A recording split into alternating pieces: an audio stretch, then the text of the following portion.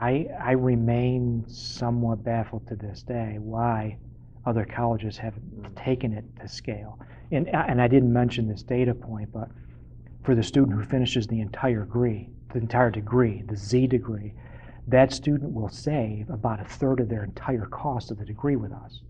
You know, $2,500 or more in textbook savings. Uh, I don't know why any college wouldn't be putting entire programs on that path rather than a pocket here and a pocket there. I think we need to move beyond that. If we're really going to have an impact, it needs to be taken to a larger scale. And the degree, I think, is the next logical place to take it. We see the success at the course level in those pockets of areas, but that's not enough. Put the entire degree on that scale. We have at Tidewater, you know, roughly 3,000 students any given time in our business program, and 10 to 12 percent of them are graduating each year. If each one of them saves $2,500, that's that's significant. A deep learning curve because a lot of things had to happen across the university.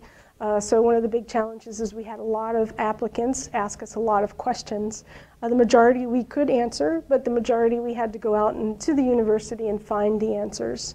Um, another challenge was getting everything approved through the university, both on the funding side and also on the curriculum side. It's a, a, there's so many people in the process of both of those, it slowed us down.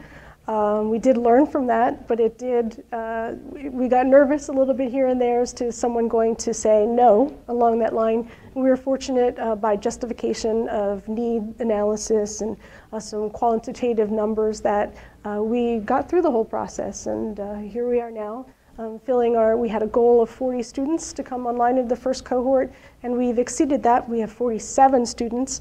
Uh, the 40 are online, and the, the other seven are in class. Our university is looking to be the innovative leader in adult education.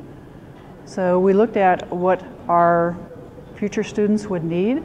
Our average student is about in the lower 30 year old, uh, usually a working adult. And to be able, we have, there are 37 million students out there with some college but no degree. Um, and there's been a push by Washington, the president, and also uh, Congress to make school more affordable um, and accessible and with quality in mind. There are a number of students with huge student loan. There's a lot of student loan debt, so they're trying to make it more affordable. Competency-based education is one way to do this. Uh, again, two years ago, we looked at um, a different, this as a different degree program. We teach blended classes, we teach online classes, and we were looking for a different modality um, for a different subset of students. There are a lot of working adults out there that have um, a lot of working knowledge, and are self-starters, and this would be a perfect program for them. What we did at Chadron State, the elementary education faculty wanted to reduce the cost of materials to the students, in other words, the textbook costs. And in part because the students have to pay a great deal of money for the testing to get certified.